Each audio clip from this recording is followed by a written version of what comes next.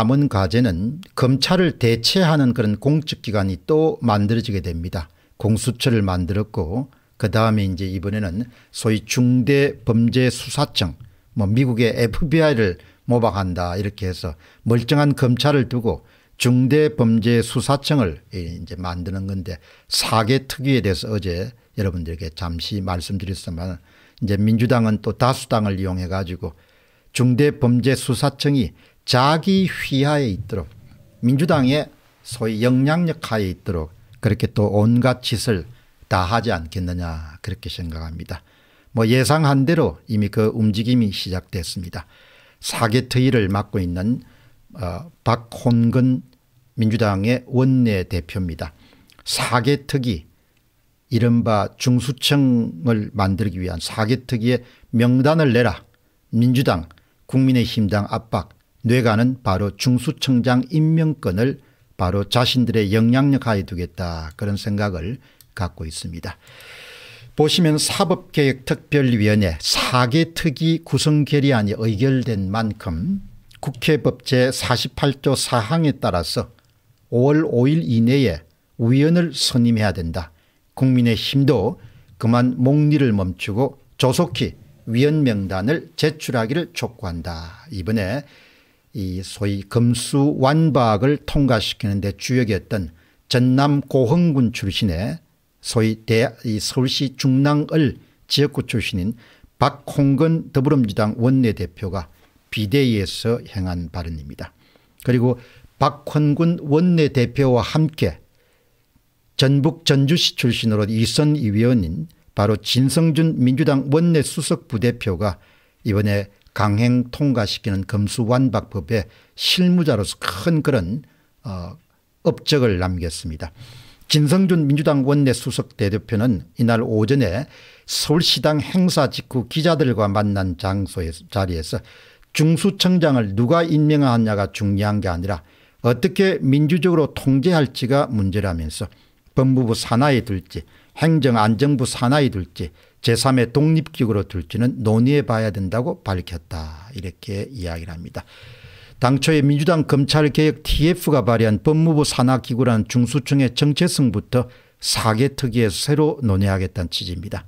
이에 대해서 국민의힘의 관계자는 중수청을 신임 한동훈 법무부 장관 밑에 둘 수 없다는 뜻이다는 그런 어, 비판적인 의견을 피력합니다. 그러니까 멀쩡한 검찰을 없애고 자기들 마음대로 그야말로 예, 미친 뭐가 칼짓 칼로릇 하는 것처럼 이런 식으로 여러분들 작업을 하기 시작했습니다. 이 사람들은 또 어김없이 지금까지 검수완박 법안에 대해서 국민들이 그렇게 많이 반대하는 불구하고 자기 마음대로 한 것처럼 뭐 앞으로도 자기 마음대로 계속하지 않겠느냐 그렇게 봅니다. 방님이 아주 냉소적으로 잘 보통 시민들이 갖고 있는 입장을 잘 피력했습니다. 중수청장 말입니까? 민주당 산하에 두는 걸로 안을 만드시기 바랍니다. 까짓것 지금이라도 만드세요.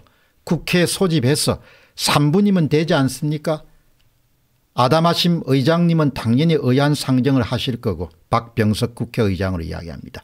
5월 9일이면 아직 며칠 남았으니까 개정안 공포도 문제없지 않습니까? 국민은 쥐뿔도 모르거니 눈치 볼 것도 없습니다. 안 그래요?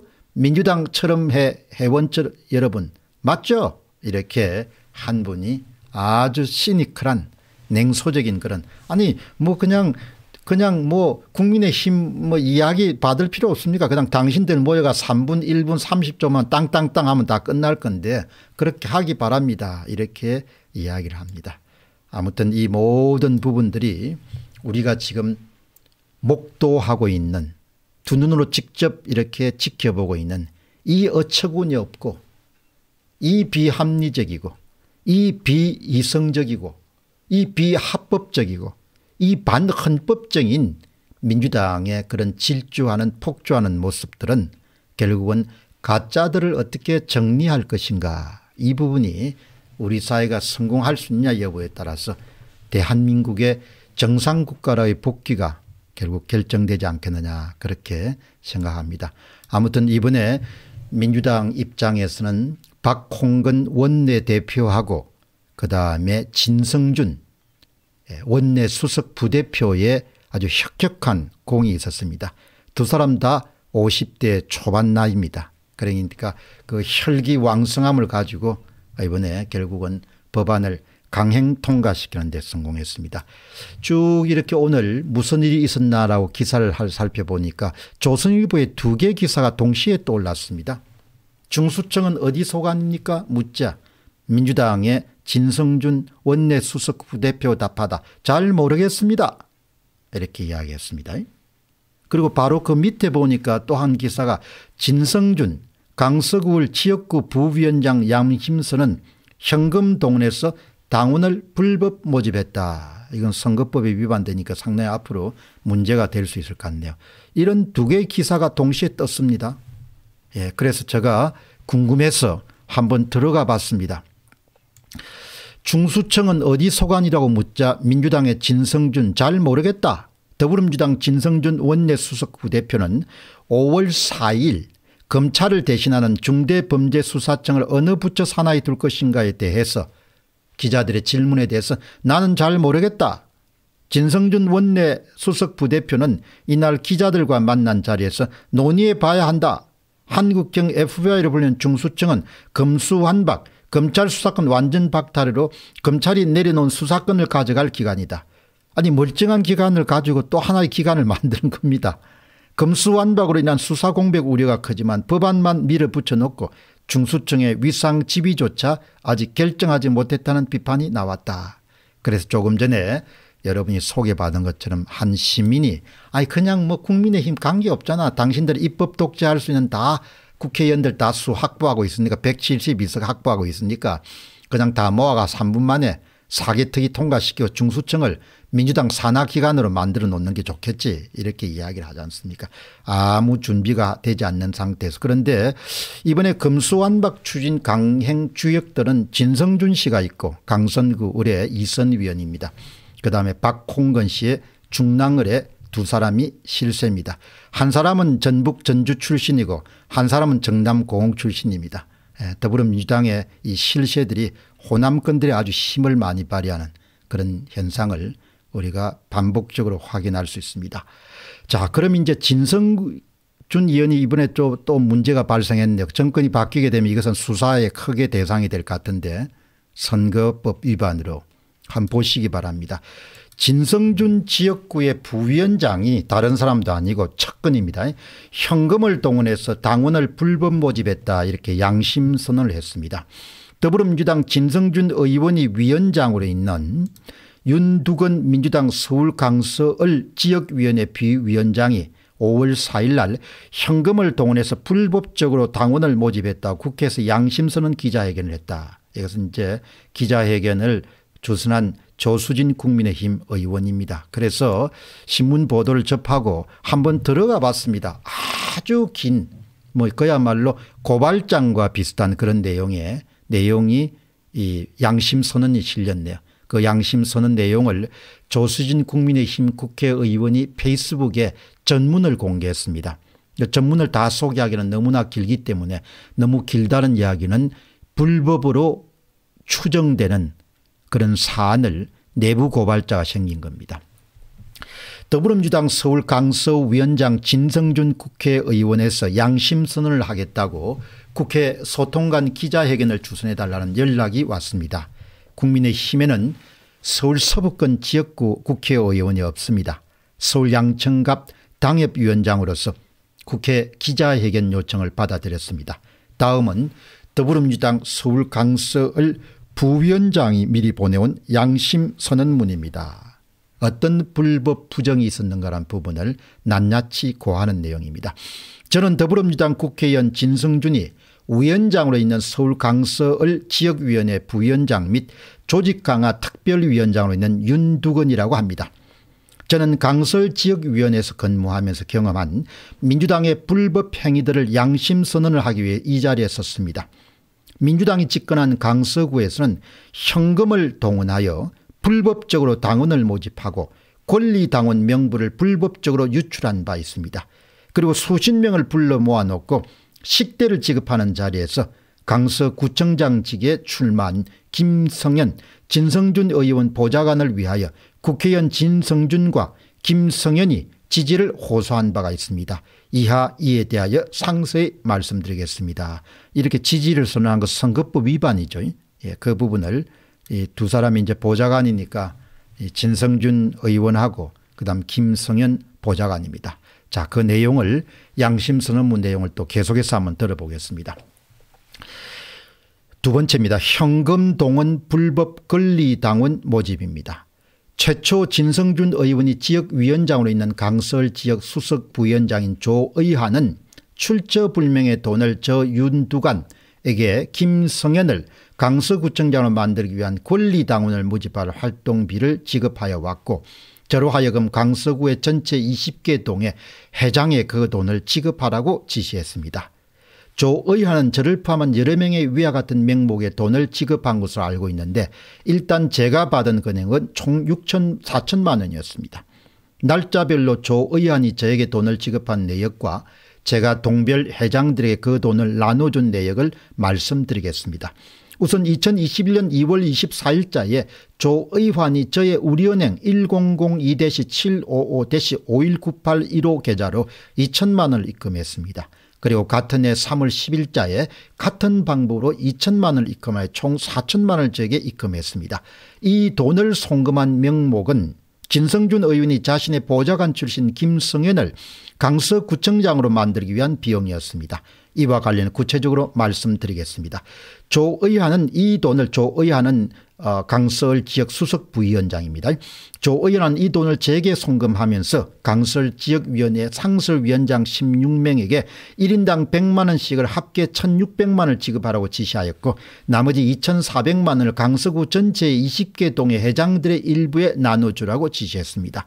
저는 이 지시대로 돈을 입금받은 무려 16개 상설위원장에 모두 지급했고 동별 회장들에겐 모두 지급했습니다. 제가 조의안으로부터 돈을 입금받고 지시대로 돈을 나눠준 내역과 관련한 정빙 자료로 저의 우리은행 계좌 입출금 내용을 제출하겠습니다. 이런 내용을 여러분들 지금 그야말로 폭로를 한 겁니다. 이제 이게 민주당 정권이 계속해서 집권했으면 이 사건을 덮을 수 있을 건데 아마 이 사건을 덮기가 힘들 것 같네요. 듣기가 힘들면은 진성준 국회의원도 선거법 위반으로 걸려들 가능성이 꽤 높은 그런 사건이다 이렇게 봅니다.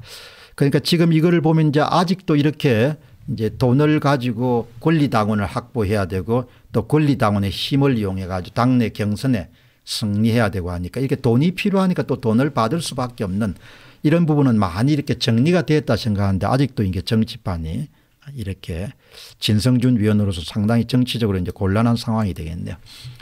근데 조 의화는 6천만 원을 지급한 것인데 저에게는 그중에 4천만 원이 큰 돈이 아주 척건이었다는 이야기입니다. 동별 회장들에 나눠주라고 돈을 입금한 것입니다. 나머지 2천만 원은 다함 조직의 오정석 총장 정경자 국장 김무영 국장에게도 저와 같은 방법으로 돈을 지급하였고 그들도 지시대로 돈을 나눠준 것으로 알고 있습니다. 강서구 20개 동회장 20명이 인당 300만 원씩 지급받은 것이므로 동별 회장에게만 기본적으로 총 6천만 원이 전달되었고 그 돈은 그대로 권리당원 모집 목적의 활동비 명목으로 집행이 되었습니다.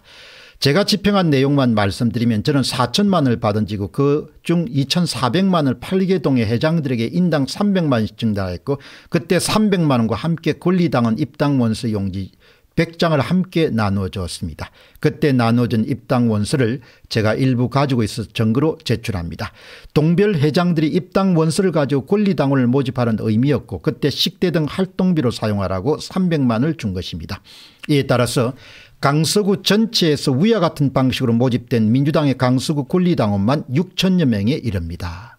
당내 경선을 성공시키기 위해 가지고 이렇게 돈을 써서 권리당원을 확보한 그런 사건이네요. 이런 식으로 점조직같이 수시로 밥을 사주면서 권리당원을 모집하는 방식이었고 이것은 돈을 뿌려서 권리당원을 모집한 것이어서 엄연히 선거법을 위한 불법임을 밝힙니다. 제가 그 6천만 원 중에 4천만 원을 조위안의 지시에 따라 집행했기 때문에 가장 많이 알고 있는 내부 제보자인 셈입니다. 위와 관련해서 위 20개 동별 회장 중 한 명인 우장상 등 강현중 다함 총무가 2022년 4월 20일 목요일에 다함의 회원들이 모여있는 네이버 밴드에 불만을 토론한 적이 있는데 권리당원을 모으는데 힘이 들었다고 할 내용입니다. 300만 원치 값을 해야 되기 때문에 신경을 써서 모았다는 내용이 포함되어 있습니다. 이 내용을 캡처한 자료를 증거로 제시하겠습니다. 이게 아주 혐의가 많네요. 다음은 불법 선거운동 관련 내용입니다. 추가로 진성준과 김성현 이번에 강서구청장 후보입니다. 조의한이 공모하여 불법 선거운동을 한 내역에 대해서 말씀드리겠습니다. 진성준의 사조직 다함의 연합회 회장은 민주당 강설지역위원회 수석부위원장 조의환입니다. 조의환은 밀성건설의 오나로 알려진 인물이기도 합니다. 처음에는 진성준과 그러니까 이게 이제 다 뭐 이렇게 밀고 밀어주는 그런 이제 일감을 딸 수 있을 가능성이 있으니까 이렇게 또 정치권에 밀착하겠죠. 처음에는 진성준과 그 척권 정치인들을 위한 사조직인 다함연합회 회장 조 의환, 부회장단 20여 명, 사무국 20여 명, 고문위원 10여 명, 자문위원 10여 명, 운영위원 10여 명으로 구성되어 있었습니다. 최근 강서구청장 선거 경선과 관련해 조의안은 진성주 의원과 김성현을 대동하고 위 조직원들을 모아 식사 및 주류를 제공하였고 이때 김성현과 진성주는 강서구청장에 출마하는 김성에 대한 지지 발언을 한 사실이 있습니다. 그래서 선거법 위반으로 제가 볼 때는 문제가 될 수 있는 사안이네요. 이런 내용들이 이제 쭉 이렇게 정리가 되어 있습니다. 예. 위와 같이 네 번에 걸쳐 식대 및 주류 비용을 800에서 1천만 원 상당을 조 의원이 결제하는 것을 저는 처음 목격한 바가 있습니다. 그조 의원 씨는 이제 어, 이 건설업을 하니까 또 이제 다음에 반대급부를 받을 수가 있겠죠. 그래서 이제 구청장을 다 차지해야 되는 겁니다. 국회의원들하고 이렇게 다 유착관계가 있지 않나 이렇게 생각하는 건데 저는 민주당 강서울 지역위원회 부위원장과 조직강화 특별위원장으로 근무하고 있고 민주당의 전국 대의원으로 활동하고 있습니다. 저는 이상과 같이 민주당의 불법행위 등을 모두 목격하고 그들의 지시를 받아 실행한 내부자로서 더 이상 그들의 불법행위를 묵과하지 못하고 이상의 내용을 양심선언한 것입니다. 이 자리를 마치는 대로 위 불법행위에 대해서 국민권익위원회 공익신고를 하고 수사기관에 행사고발할 예정입니다. 공직선거를 돈으로 해결한 불법행위가 이번 기회에 모두 뿌리 뽑기를 바랍니다. 2022년도 5월 4일 민주당 서울 강설 지역위원회 부위원장 겸 조직강화 특별위원장 윤두건 이렇게 이야기를 했는데요. 아마 이 사건은 뭐 거듭 말씀드리지만 민주당 정권이 이제 계속 권력을 쥐었으면은 뭐 크게 문제가 그냥 덮어버릴 수가 있는데 이번 건은 이제 새 정부가 등장하게 되면은 이제 선거사범 차원에서 그러니까 이런 것은 이제 검찰이 수사하니 할 테니까 선거 수사를 못하도록 검찰 수사권을 완전히 박탈을 해버리고 이제 경찰로 넘어가면 그걸 어떻게 또 무마할 수 있는 그런 방법이 있다 이렇게 생각했기 때문에 이런 일이 예, 벌어지지 않았냐 그렇게 봅니다. 지금 이 이제 소위 이번에 금수완박법의 주역이자 또 지금 이제 그 윤두건 그런 강설 지역위원회 부위원장이 폭로한 그 불법에 연루된 것으로 의심받는 그런 진성준 의원은 사실 한번 보시기 바랍니다. 이미 여러분들 공병호 tv를 자주 보시는 분들은 확인 안 받지만 진성준 그런 국회의원은 이선 의원입니다. 강서구 을에 지역구를 두고 있고 전북 전주시 출생이고 전북대학교 법과대학을 나오고 사법고시를 통과했던 지 그래서 변호사입니다. 원내 수석 부대표로서 이번에 검찰 수사권 완전 박탈인 검수완박법의 실무 책임을 지고 명활약했고 대언론 관계에서도 상당히 그렇게 돋보이는 그런 발언을 해왔습니다. 진성준 의원은 국회의원 선거 21대 총선 2020년도 21대 20대 총선입니까 예, 총선 2020년도 4.15 총선에서 진성준 어, 후보는 강서울에 출마했습니다. 강서울에서 진성준 씨는 사전투표 득표율과 당일 투표 득표율에서 12.13%를 얻었습니다. 그리고 이 소위 경쟁자였던 김태우 후보 미래통합당 후보는 마이너스 11.27%를 얻었습니다. 진성준 후보나 김태우 후보는 정상적으로 보면은 이것이 숫자가 너무 큽니다. 그래서 사전투표 조작에 의해서 부정선거로 당선되었을 가능성이 확률적으로 아주 아주 높습니다. 2020년 21대 4.15 총선 같은 경우는 공정선거가 이루어진 경우는 대부분 이 12.13%가 3%를 넘지 않아야 됩니다. 김태우 후보의 마이너스 11.27%는 3%를 넘지 않아야 됩니다. 참고로 2016년 20대 총선에서는 각 후보의 서울 평균감은 2.8%였습니다. 쉽게 이야기하면 공정선거가 요구하는 1에서 3% 이내에 머물렀던 것이죠. 그러니까 이 테이블 하나만 보더라도 진성전 후보의 사전투표 득표율과 당일 투표 득표율의 12.13%를 기록하고 김태우 후보가 마이너스 11.27%를 기록했다는 것은 다르게 이야기하면 교차투표가 일어났다는 것이고 이것은 바로 사전투표 조작을 통해서 진성준 후보에게 엄청난 표를 몰아주고 그리고 김태우 후보에게서 김태우 후보가 실제로 얻은 사전투표 득표수에서 상당표를 절도한 도둑질한 행위가 없으면 일어날 수 없는 겁니다. 따라서 이번에 금수 완박법의 주역 가운데 한 사람인 진성준 강서구 지역구 의원은 현재 이 같은 중앙선거관리위원회가 공식적으로 발표한 선거 데이터 자료를 참고하게 되면 부정선거로 당선되었을 가능성이 매우 큽니다. 그것을 또 하나 뒷받침하는 자료는 바로 이 자료입니다. 여러분들은 검정색 박스를 보시기 바랍니다. 60대 제로입니다. 강서구에는 모두 7개의 동이 있고 7개 동 산하에는 모두 60개의 투표소가 있습니다. 60개의 투표소에서 진성준 후보가 모두 다, 다 사전투표에서 승리했습니다. 진성준 후보가 승, 승리할 확률은 2분의 1입니다. 2분의 1을 60개 곱한 그런 확률이 발생한 겁니다. 그러니까 60대 1이라는 것 자체가 엄청나게 우리에게 시사적입니다. 이것은 사전투표 조작이 일어났을 가능성이 그것도 한 군데가 아니고 바로 강서구에 속하는 60개의 투표소에 모두 다 사전투표 조작이 일어났을 가능성을 우리에게 강력하게 이렇게 시사하는 겁니다.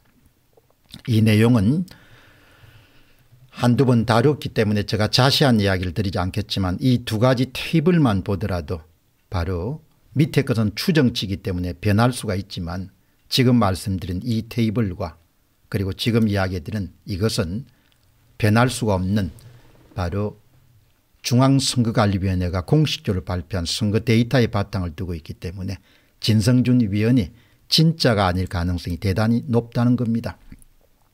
또 다른 사람은 이번에 검수완박법에 크게 실무자로 활동했던 바로 박홍근 전남 고흥 출신의 민주당 원내대표 1969년생입니다. 박홍근 여러분들 민주당 원내대표도 사실 진짜가 아닐 가능성이 굉장히 높습니다. 이 테이블을 보시기 바랍니다. 박홍근 후보가 플러스 11.15%입니다. 사전투표와 당일투표에서 중랑구을 구민들이 이렇게 다른 투표 성향을 보일 수가 없습니다. 아주 비슷해야 됩니다. 그래서 0에서 대개 3% 이내에 머물러야 됩니다. 엄청난 조작이 이루어진 겁니다. 사전투표에서. 두 후보의 그런 차이값을 합치게 되면 22.85%가 나옵니다. 이것은 다르게 이야기하면 사전투표에 참가한 총수의 22.85%를 조작했을 가능성을 우리에게 강하게 시사한 겁니다.